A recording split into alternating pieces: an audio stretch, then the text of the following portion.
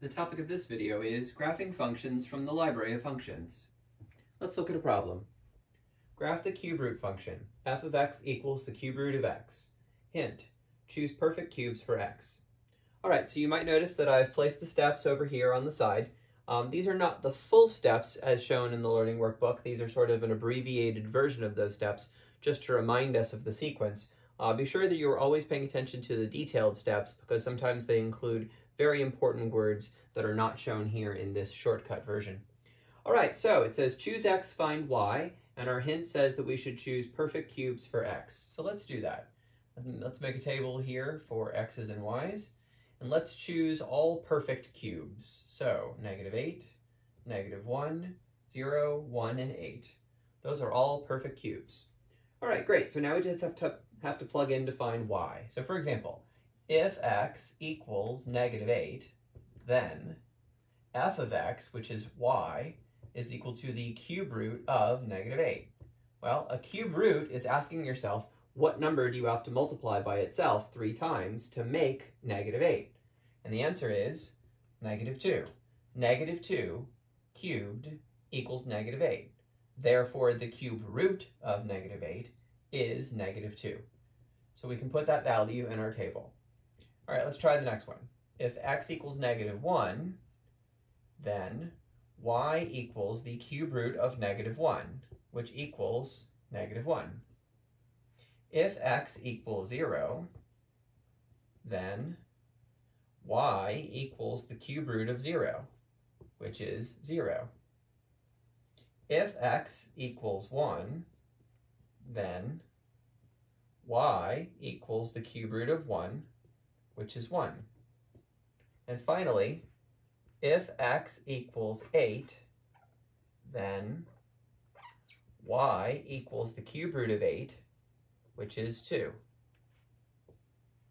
Okay, so we've got five points. Next, we're going to plot those points.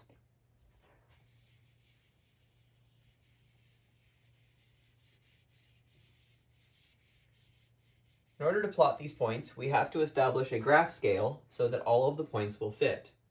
The biggest and smallest x values are negative 8 and 8. The biggest and smallest y values are negative 2 and 2. So as long as our entire graph goes from negative 10 to 10 in both variables, all of our points should be able to fit. So let's create a blank graph grid that goes from negative 10 to 10 in all directions.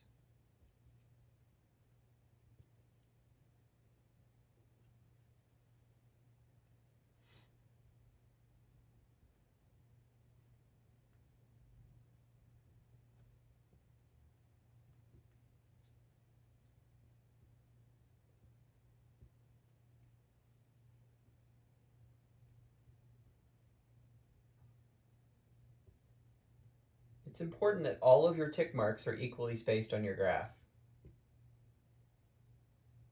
If they're not equally spaced, then your graph will be distorted. In fact, need to move that up just a little bit. All right, now that we have our blank graph grid, we're ready to put our points on top of it. So let's start with negative 8, negative 2. That's the point you get when you start at the origin and go 8 steps to the left and 2 steps down. Next, negative 1, negative 1 would be here. 0, 0, the origin. 1, 1. 8, 2. All right, now we connect the dots together.